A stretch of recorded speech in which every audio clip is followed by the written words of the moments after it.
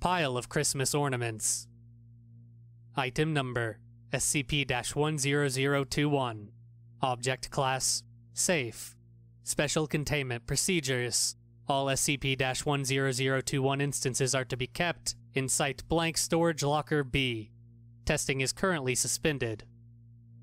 Description SCP 10021 are a pile of Christmas ornaments capable of making someone decorate any type of tree.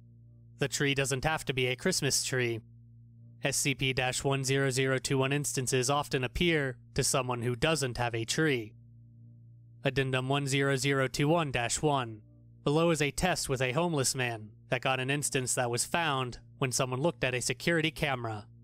The instance showed up five days before Christmas. The man picked up the ornaments and went to a park called Blank Park.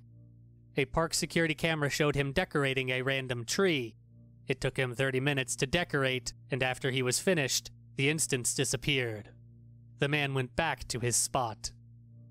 Addendum 10021 2. This is an interview with another man that was found in the middle of decorating a tree. The interviewer is researcher blank. Researcher blank. So, how did the decorations appear? The man. I don't remember how it came. I was sleeping and I woke up and I saw it. Researcher blank. What did you do when it came? The man. When I saw it, I had a desire to go to a random Christmas tree, or any tree, in fact. Researcher blank. What else happened? The man.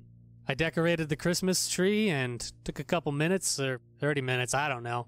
I don't have a phone. I'm homeless. But my guess is 30.